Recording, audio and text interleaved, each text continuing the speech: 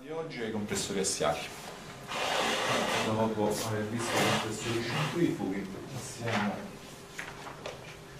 a questa seconda categoria di macchine operatrici di fluidi comprimibili, dove,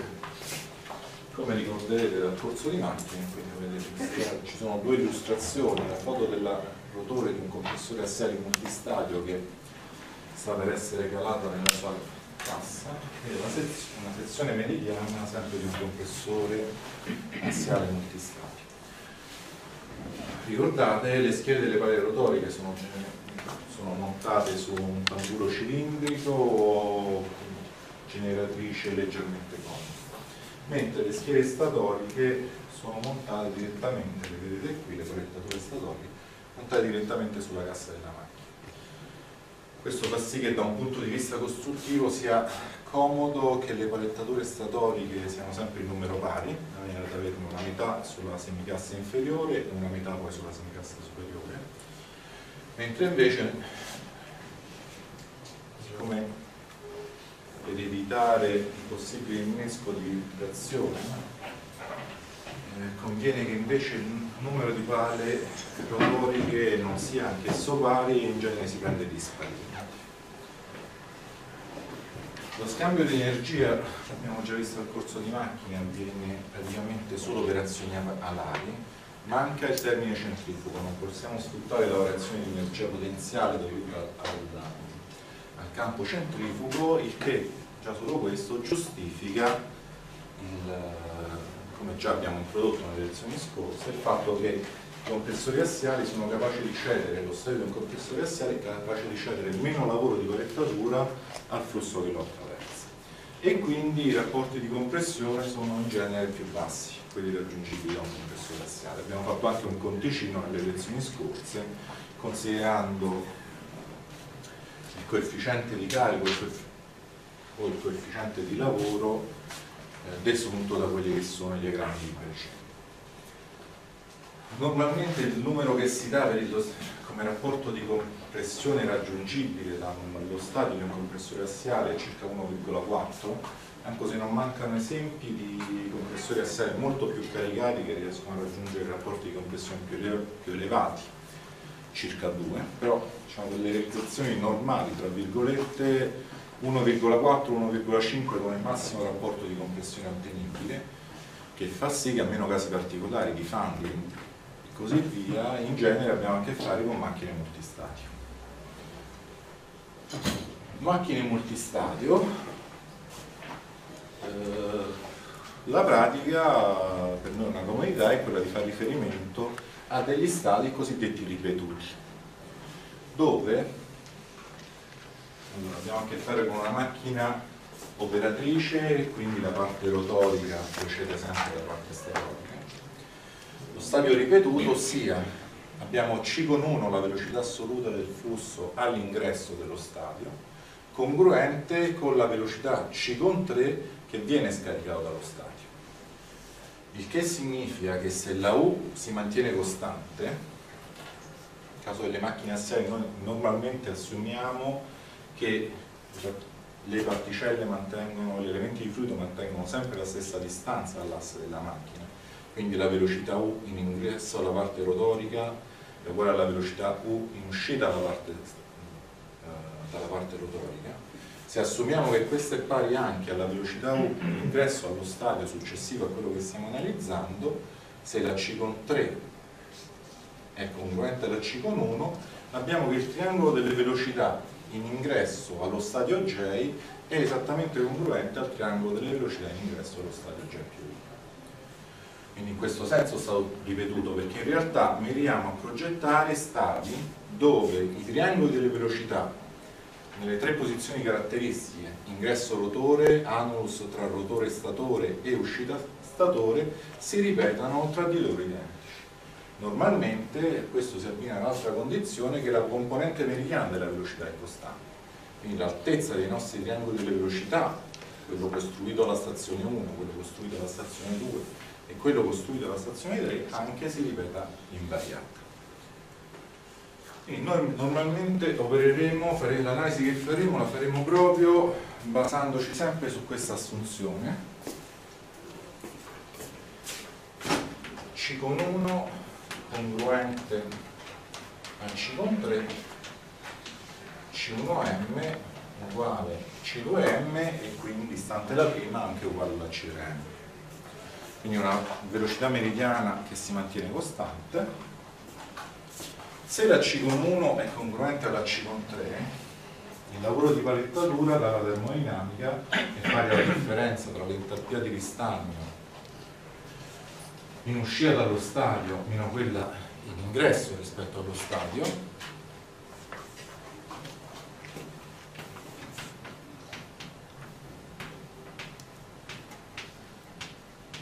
1 ingresso rotore. 3 è uscita statore quindi ingresso stadio uscita stadio. Ossia h con 3 più c3 quadro mezzi meno h con 1 più c1 quadro mezzi se lo stadio è ripetuto il lavoro di palettatura è proprio pari ad h con 3 meno h con 1 quindi la differenza tra le entalpie talvolta chiamate statiche. In realtà l'entalpia del fatto ed è pari secondo la formulazione di Eulero facciamo un'assunzione che macchina assiale la velocità periferica U sia costante quindi ci muoviamo mantenendo inalterata la distanza dal centro della macchina dall'asse della macchina. U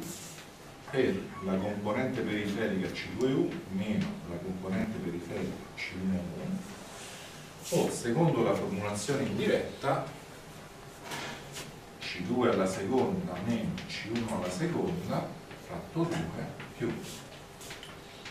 W1 alla seconda meno W2 alla seconda fratto 2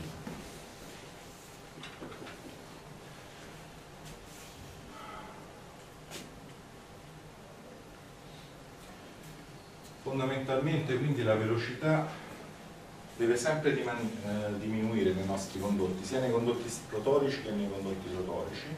devono essere sempre deceleranti.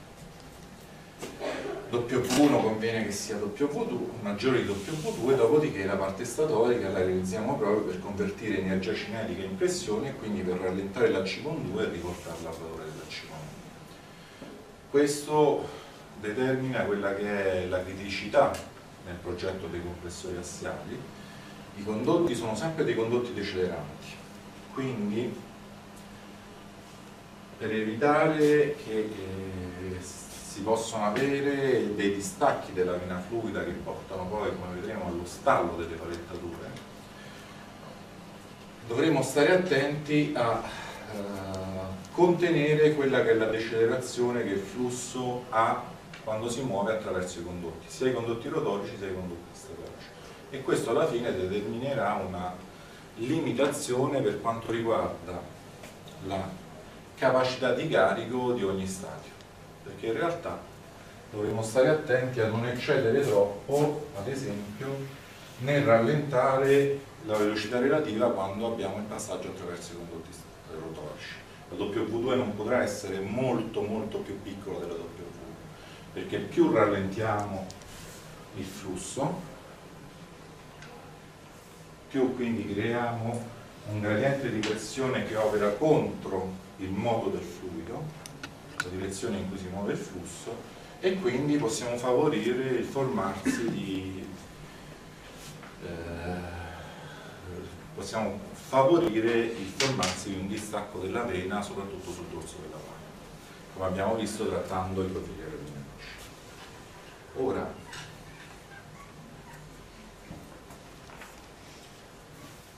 date queste condizioni,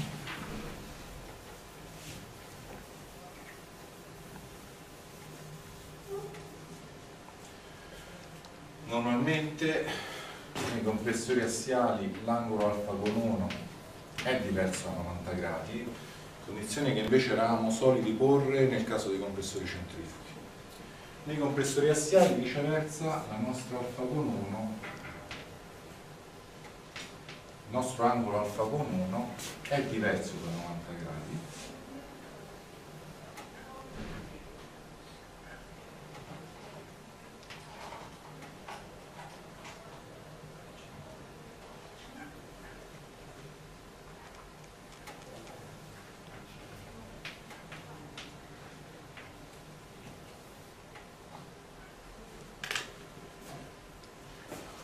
il momento continuiamo a indicare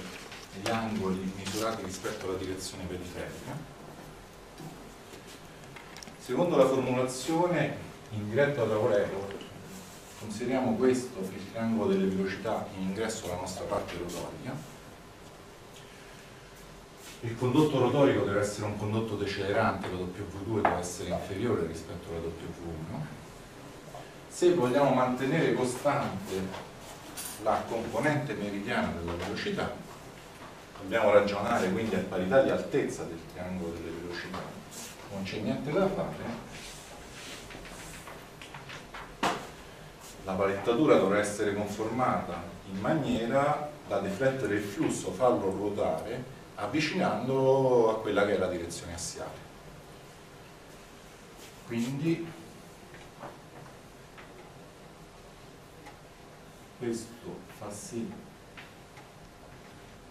ragionando a parità di altezza dei triangoli delle velocità, che io possa ottenere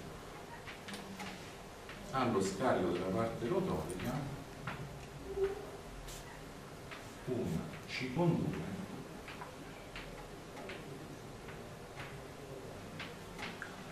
più elevata anche della C con Ovviamente se ragioniamo a parità di 1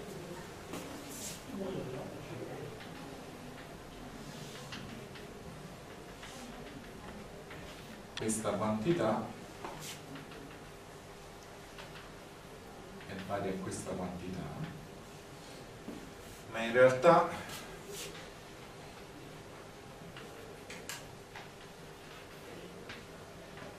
questa è tutta la componente periferica della C12, C2U, questa è la C1U, quindi questa è proprio la variazione delta C con pari a C2 meno C1 allo stesso tempo questa è tutta la doppia W1 questa è la componente periferica della doppia W2 questa è la relazione della componente periferica delle velocità relative proprio potremmo dire proprio per costruzione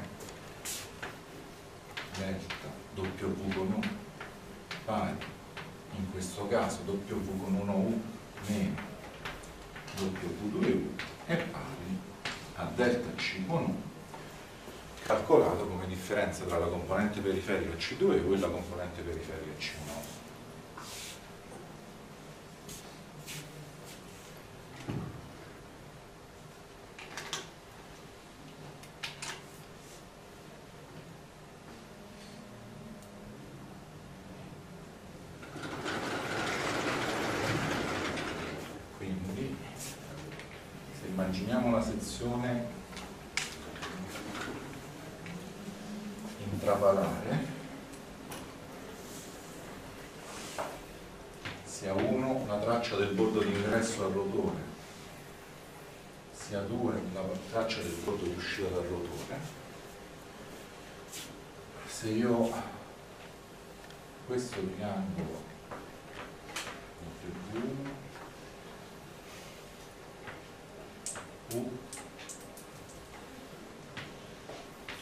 C1U immaginiamo per il momento di, avere, di trascurare quelle che sono le incidenze o le deviazioni che il flusso può subire, devo disegnare una palettatura statorica rotorica che riceva il flusso secondo la direzione definita dalla W1 e me lo deve ruotare in maniera da renderlo un po' più assiale, in maniera da avere allo scarico la direzione W2 da definire allo scarico la direzione della pulita. Quindi qui esageriamo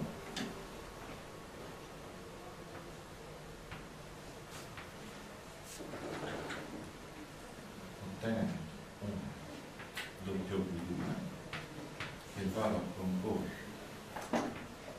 con la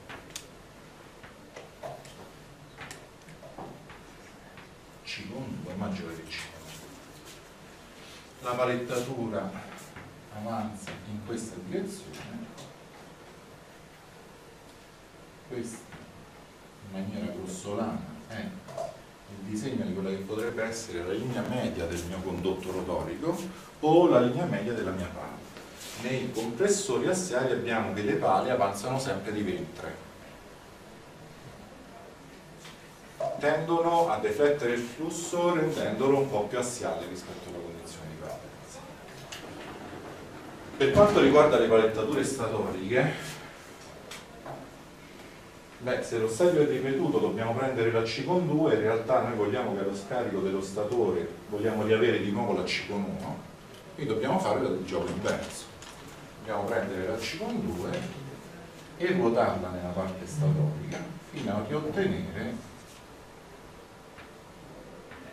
la C con 1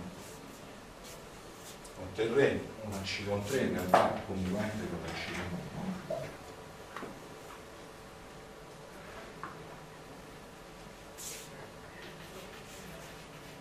facciamo finta che il bordo 2 in ingresso alla parte statoria coincida con il bordo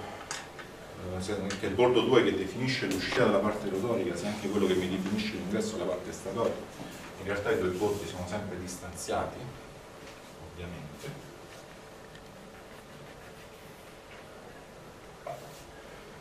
La palettatura statorica dovrà ricevere un flusso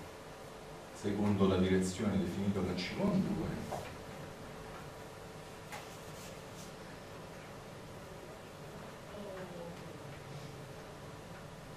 2 e ruotarlo prendendolo di nuovo un po' più assiale in maniera da ottenere in uscita dalla proiettatura statorica una velocità assoluta congruente con la C con 1 di partenza.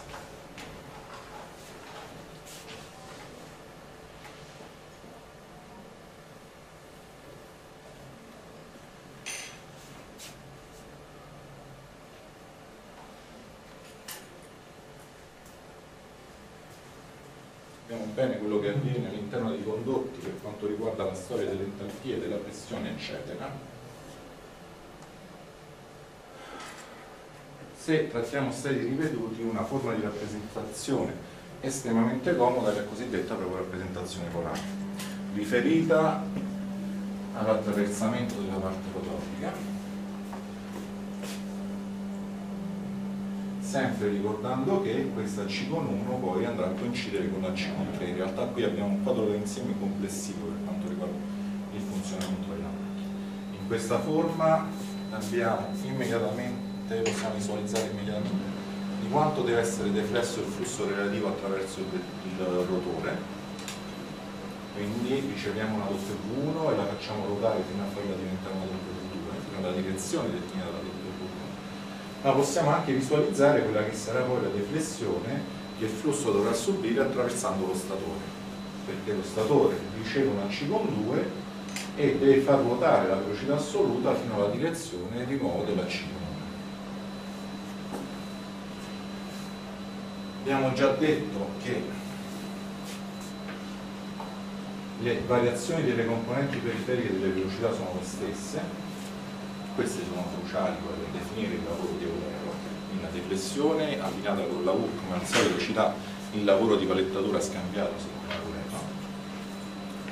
possiamo fare una piccola manipolazione. Lavoro di palettatura quindi velocità periferica per la differenza tra le componenti periferiche della velocità assoluta. Se facciamo riferimento al triangolo delle velocità la C con 1U possiamo immediatamente scriverla in funzione dell'angolo alfa con 1 C con M eh, altezza del triangolo della velocità per la cotangente dell'angolo alfa con 1 la C con 2U possiamo anche facilmente riportarcela in funzione invece dell'angolo beta 2 C con 2U pari ad U velocità periferica eh, meno la W2U ossia di nuovo C con M per la cotangente dell'angolo beta 2. Mettiamo insieme queste espressioni, otteniamo che il lavoro di palettatura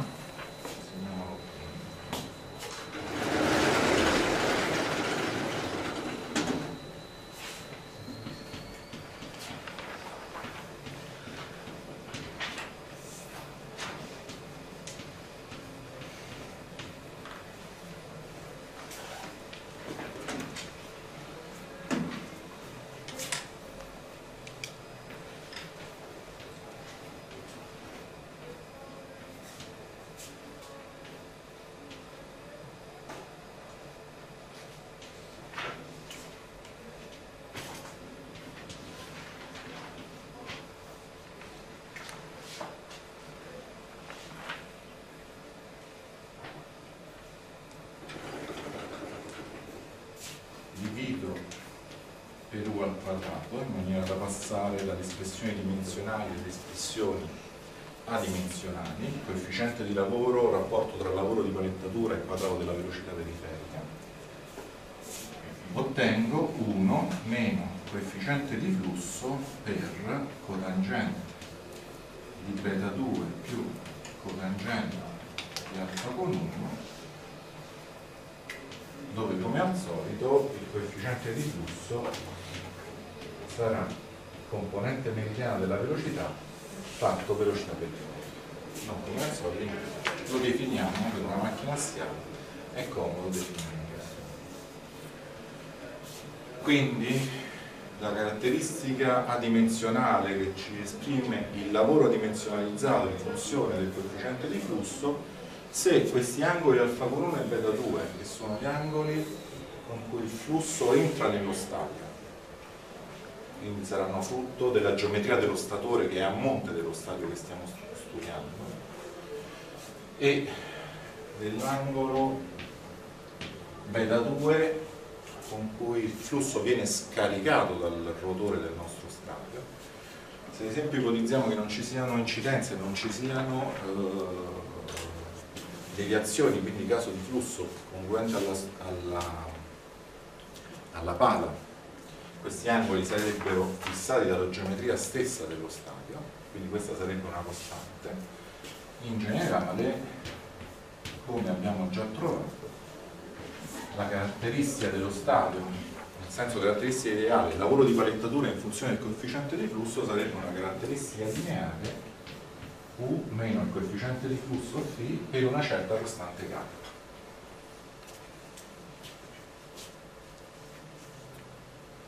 quindi simile in realtà a quella che abbiamo già determinato come andamento per, i, per le macchine radiali.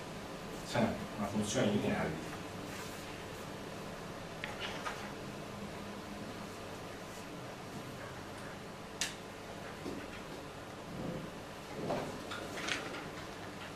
Perché abbiamo detto alfa con 1 in genere diverso da 90 gradi.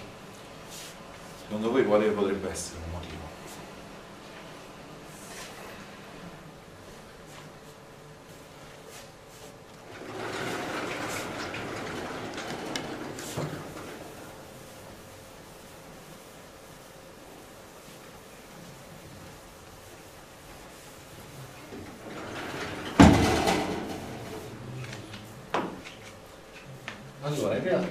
se ci ragioniamo, vediamo se l'immagine di prima è abbastanza chiara.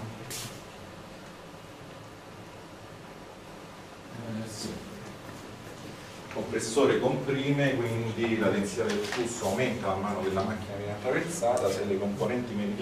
se la componente meridiana della velocità si mantiene più o meno costante, abbiamo un andamento della sezione meridiana a superficie a sezione retta decrescente, appunto un andamento di questo genere. Quindi il flusso entra da qui. È comodo, abbastanza comodo avere una blocca di presa di questo genere. Se immaginiamo che non ci sia nulla che metta in perirotazione il flusso quindi la velocità quando arriva all'ingresso del primo stadio è diretta secondo la direzione assiale. Di nuovo quindi la, secondo quella che è la classica condizione alfa con 1 uguale a 90 gradi il lavoro scambiato dipende dalla U, diciamo di disegnare un triangolo delle velocità alfa con 1 90 gradi l'ingresso al primo stadio avremmo qualcosa del genere. Se invece ammetto che alfa con 1 sia 90 gradi secondo, secondo il modo in cui l'ho disegnato prima sto passando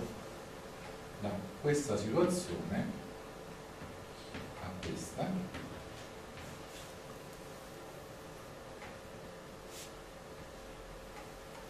la U è sempre la stessa.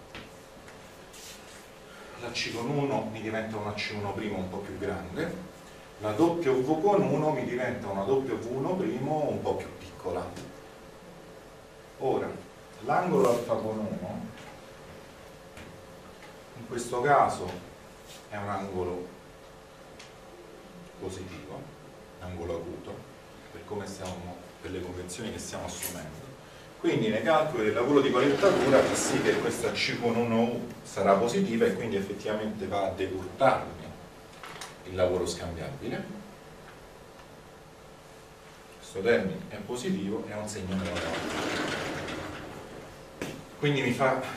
diminuire quella che è la capacità di scambiare lavoro da parte del mio stadio qual è il vantaggio però che riesco a ottenere?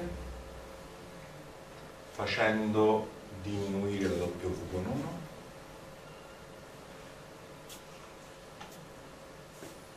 Poi abbiamo detto, quando abbiamo parlato dei compressori centrifughi abbiamo introdotto quelle che sono le problematiche in genere dei compressori. La problematica, se la macchina è neutrale, se abbiamo a che fare con macchine idrauliche, il nostro problema è la cavitazione se abbiamo a che fare con macchine termiche il nostro problema è la comprimibilità e il fatto che si possono raggiungere le condizioni soniche o supersoniche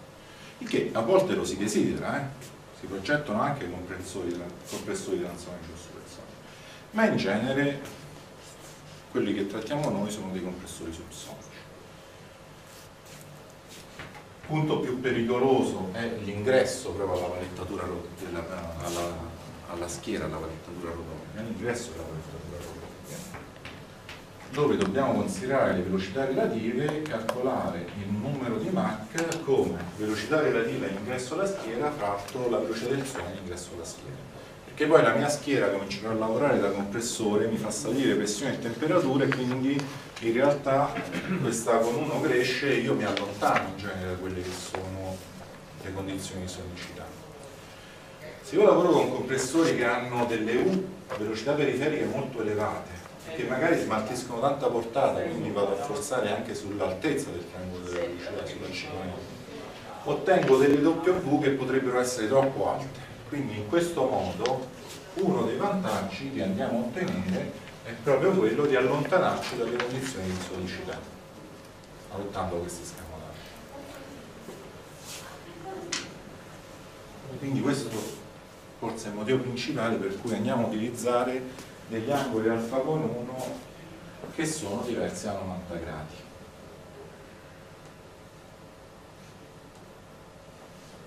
Ora, per le macchine assiali il grado di reazione è una grandezza molto importante e specifichiamo il grado di reazione per i nostri stati ripetuti. Abbastanza semplice in questo caso. Il lavoro di, di reazione è pari alla differenza tra il lavoro di palettatura e il lavoro di azione quindi ci ricordiamo che il lavoro di azione in questo caso è C con 2 alla seconda meno C con 1 alla seconda fatto 2 ossia la quantità di energia che io sto cedendo al fluido e che il fluido recepisce come guadagno di energia cinetica.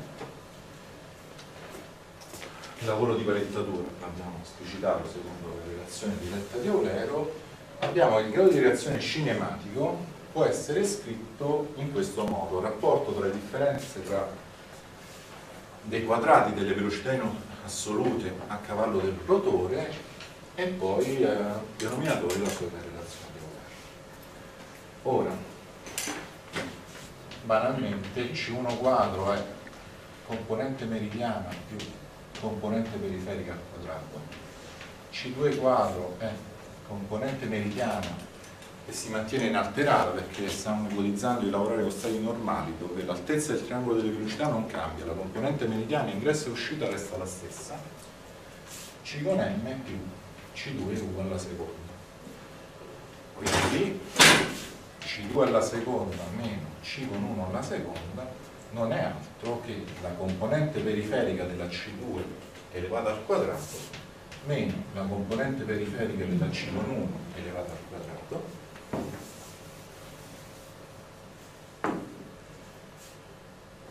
che in scienze liceali riscriviamo come C2U meno C1U che moltiplica C2U più C1U. Quindi in realtà questo termine va a semplificarsi con quello che è la variazione della componente periferica delle velocità che mi compare nell'espressione diretta di Euler. Da cui il grado di reazione cinematico resta espresso come 1 meno la media tra le componenti periferiche delle velocità assolute fratto la velocità periferica del trascinamento 1.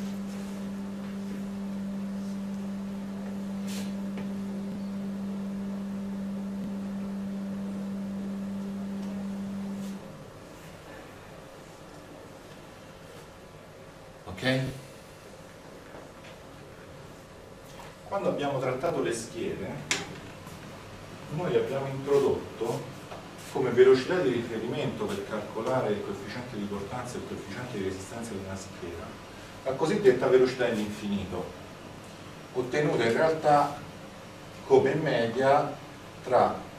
ad esempio, la velocità W1 ingresso al rotore e la velocità W2 in uscita del rotore per quanto riguarda la velocità all'infinito W infinito. Lo stesso abbiamo introdotto una C infinito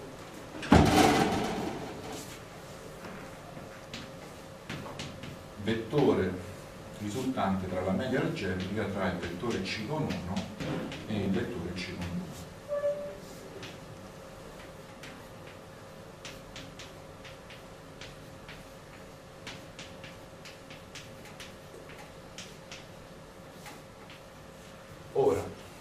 questi due vettori, ad esempio, facciamo riferimento alla C, le velocità assolute, C con 1 e C con 2 hanno la stessa componente meridiana,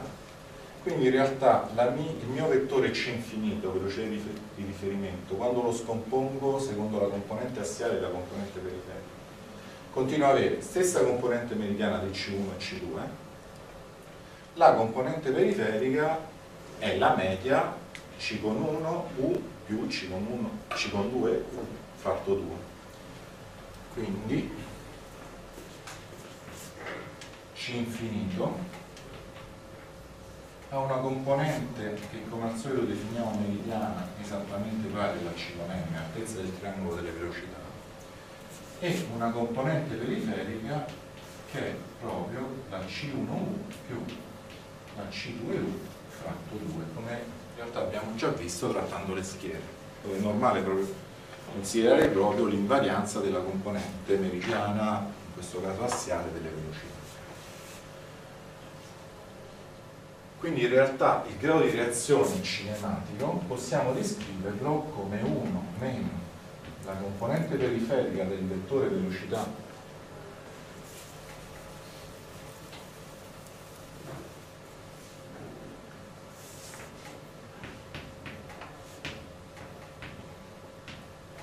Infinito fratto la velocità periferica U, dando un'espressione estremamente completa.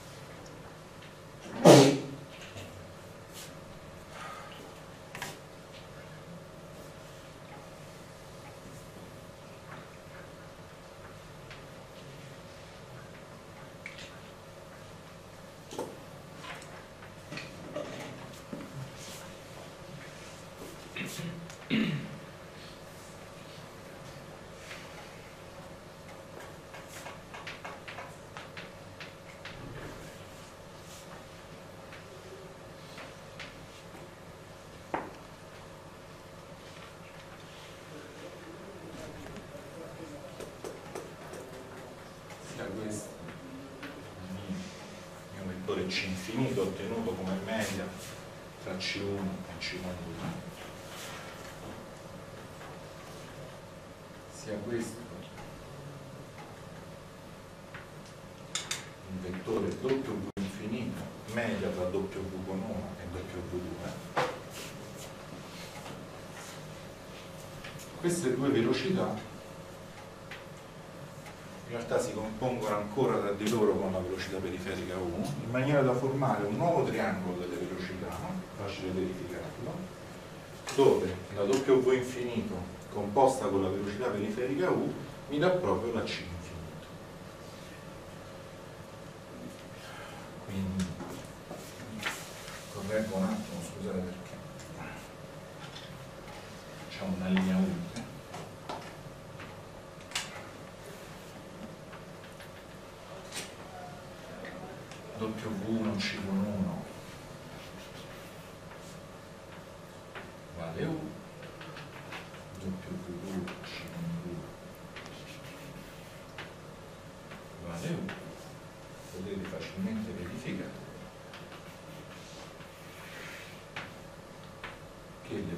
all'infinito con la U compongono di nuovo un triangolo delle velocità che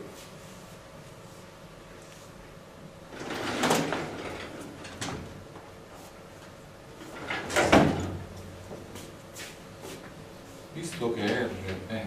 1 meno C infinito U su con 1 a C infinito U risulta pari proprio ad 1 meno il grado di reazione cinematico per la velocità periferica 1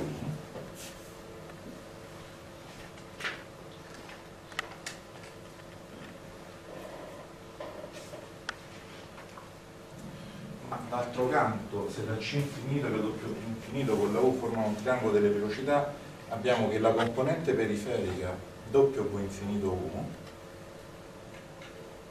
è proprio pari ad u meno c infinito 1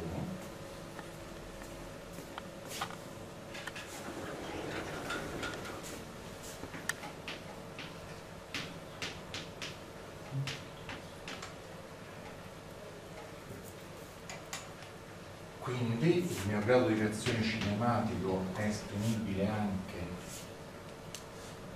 come ridotto v infinito 1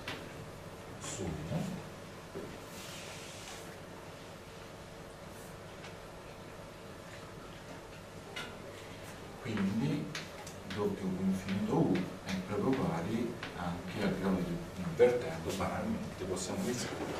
che il doppio per infinito U pari proprio al grado di reazione cinematico per la velocità periferica. In sostanza,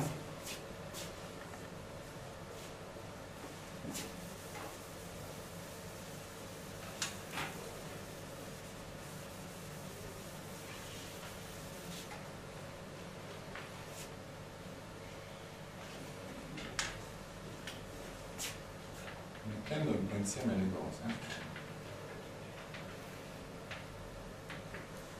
questo è il coefficiente di lavoro moltiplicato per la velocità periferica 1 in quanto abbiamo detto che il coefficiente di lavoro dimensionalizzato è proprio pari ad U per delta C1 la variazione della componente periferica è proprio riferita alle velocità assolute è proprio la stessa della variazione della componente della velocità periferica riferita a quelle relative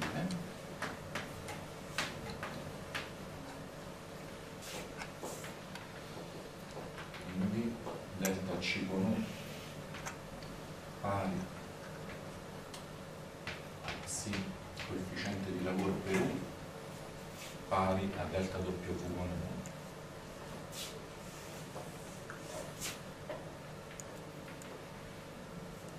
la componente periferica della velocità W infinito è esattamente R per 1 la componente periferica della velocità c infinito è 1 meno r per u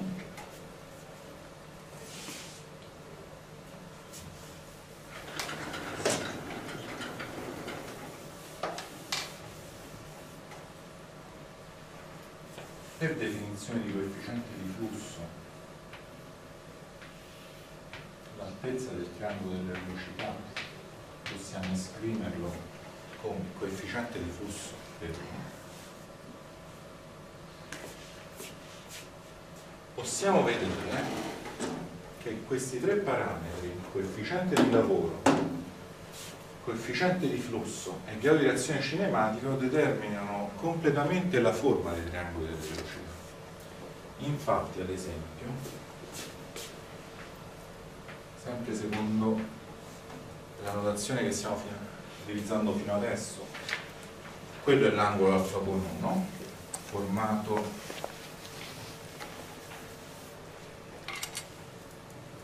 dalla velocità assoluta c con 1 con la velocità periferica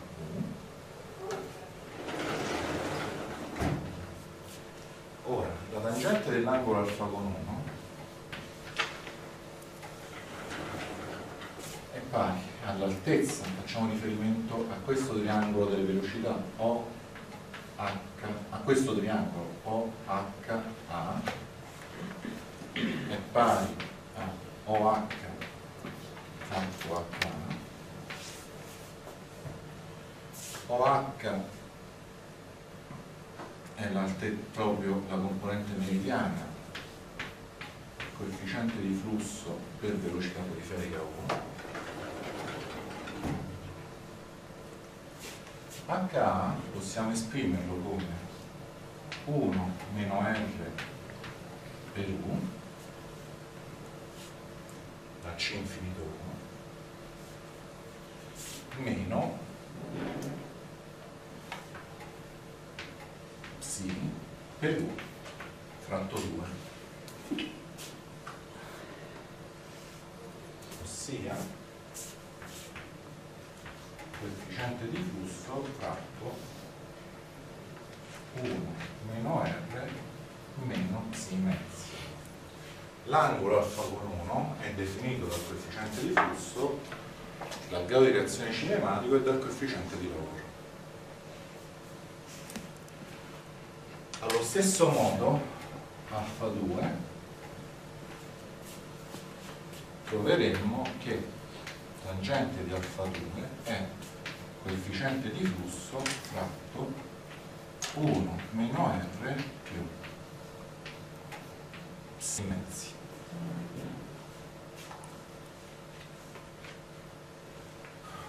Possiamo procedere. Beta 2 per gli angoli beta 1 e beta 2 non ci sarà più 1 meno r ma ci sarà r. Quindi tangente di beta 1 pari ad r al coefficiente di flusso fatto r più psi mezzi tangente di beta 2 è uguale coefficiente di flusso fratto r meno psi mezzi quindi gli angoli alfa con 1, alfa con 2, beta 1 e beta 2, gli angoli e quindi la forma dei nostri triangoli delle velocità sono completamente definiti se andiamo a segnare questi tre parametri.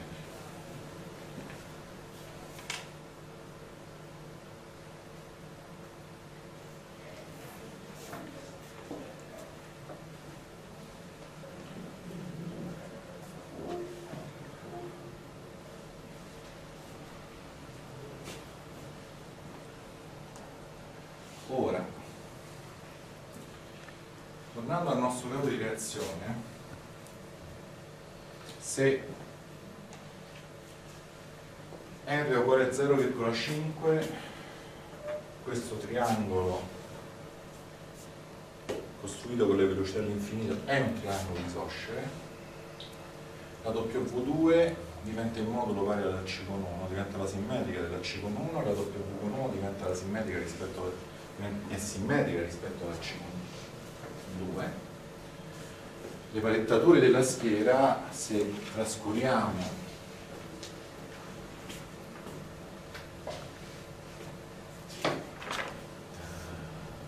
Sì, siamo in questo caso qui. Le palettature della schiera saranno poi palettature simmetriche classiche del grado di creazione a 0,5 ripeto trascuriamo per il momento se possono esserci incidenze o deviazioni eh, casi particolari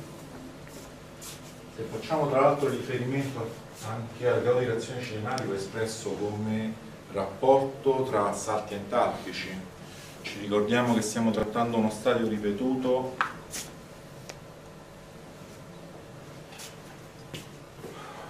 quindi come abbiamo detto all'inizio, qui manca un, non so perché è stato un meno,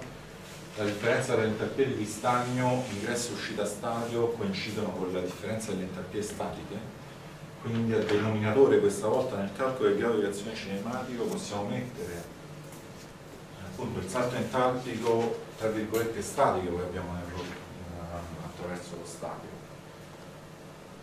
somma tra salto entalpico nello statore e salto entalpico nel rotore. Ora, se il grado di reazione cinematico è nullo, è il caso della W infinito U pari a 0 la reazione di entalpia nel rotore è pari a 0, se facciamo riferimento a una trasformazione isentropica la variazione di pressione è circa pari a 0 nel rotore. Grado di reazione cinematico 0,5 abbiamo che la variazione di entalpia nel rotore sarà circa pari a quella che abbiamo a cavallo dello statore. I salti di pressione all'incirca sono uguali tra di loro. R uguale 1 la variazione di entalpia nello statore questa volta dovrà essere pari a 0 ossia non dovremmo avere variazione di pressione nella parte statorica perlomeno nel caso di faccio notare una cosa, per quello che abbiamo detto fino adesso, anzi per quello che abbiamo visto prima,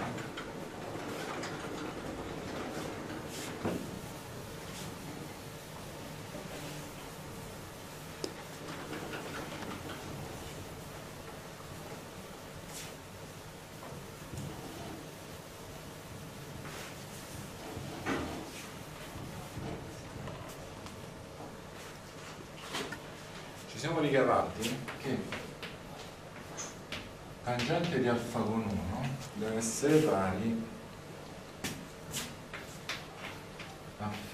fa 1 meno r meno si mezzi, giusto? Sì. Noi abbiamo detto in genere alfa con 1 è diverso da 90 gradi. Se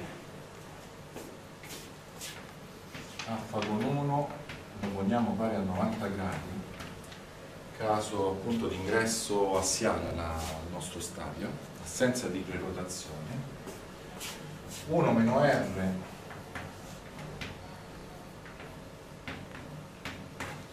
meno si mezzi deve tendere a 0 ossia il grado di reazione cinematico deve tendere deve essere pari 1 meno coefficiente di lavoro fratto 2 una condizione in realtà che già abbiamo trovato quando abbiamo parlato della forma della pala per le macchine centrifughe ma anche quando in generale abbiamo parlato tra, del legame tra forma della pala e, eh, e grado di reazione cinematica. Se vogliamo avere una condizione di ingresso assiale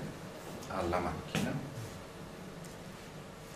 il grado di reazione cinematico e il coefficiente di lavoro dovranno essere legati tramite questa relazione. Potremmo scegliere in maniera casuale, in ambedue. Se consideriamo tangente di alfa 2, siamo ricavati prima, rapporto tra il coefficiente di flusso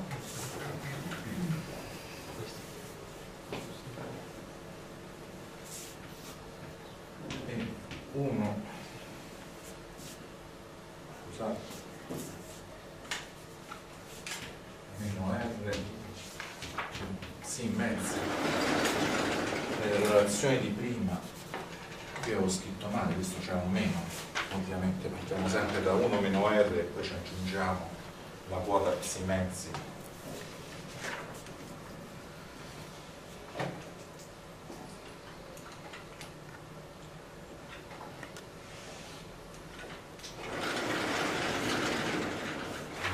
coefficiente di alfa 2 ne esprimiamo come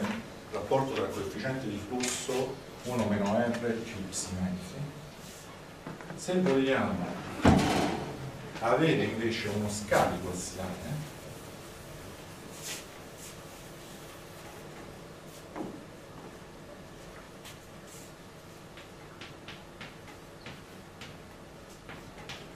questo implica che dovrà essere 1 meno r in mezzo uguale a 0 e quindi R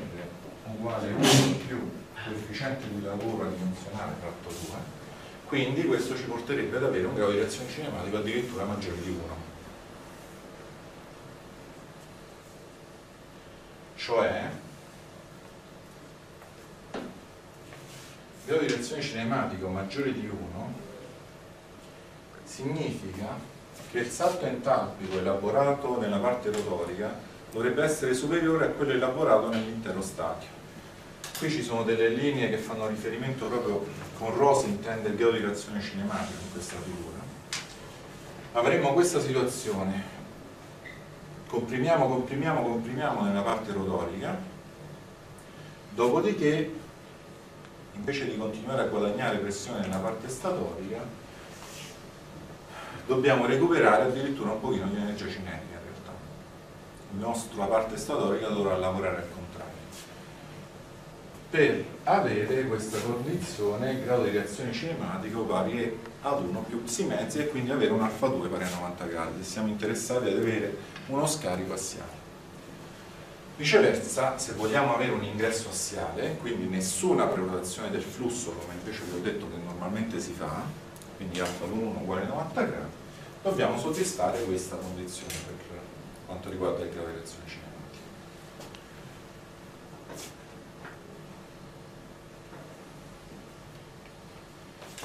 Ora, normalmente in genere tutti i compressori assiali